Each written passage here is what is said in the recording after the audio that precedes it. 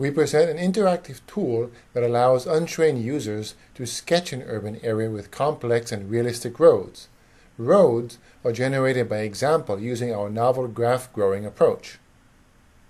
Our approach consists of three main phases. During the sketch phase, the user designs the terrain layout and selects source example. The user selects a source example and can optionally specify the source point. After, arterial roads are extracted and example patches and statistical features are computed.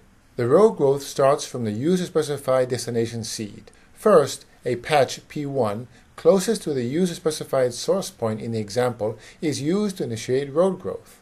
The new vertices v1, v2, v3, and v4 are enqueued. The next vertex is dequeued, and an example patch is sought according to a usage probability distribution. The chosen patch is copied and translated to the current vertex position. Redundant patch edges are removed, and exceedingly close vertices are merged as well.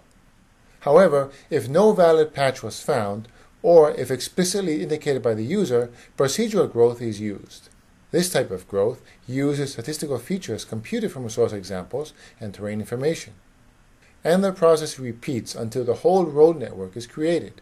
After arterial road generation, local streets are generated in a similar manner. Here, we show an example-based growth progression of an urban area. In this next example, the user controls growing by using our warping operation. While an image-based warping might distort or collapse local shapes, our approach preserves them despite the global deformation. Our blending operation provides a user-controlled smooth transition from one style to another. Our interpolation tool creates novel network styles inspired by the examples but are unique and novel. We show three user-controlled urban redevelopment sessions.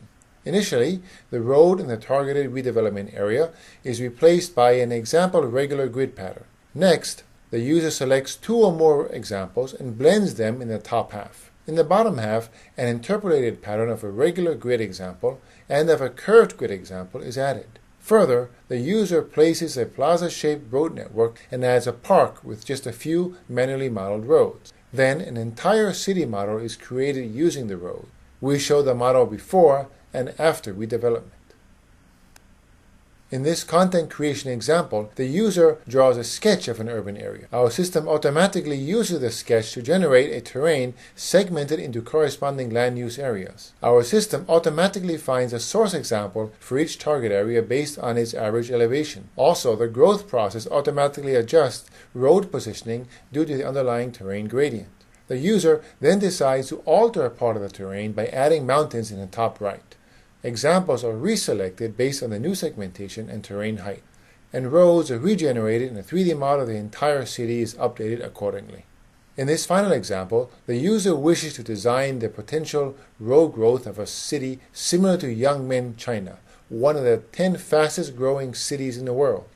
The user selects a target area and source examples, producing a new road network. Then, our synthesis operations are used to alter the design with different road network styles. Finally, a 3D city model is created.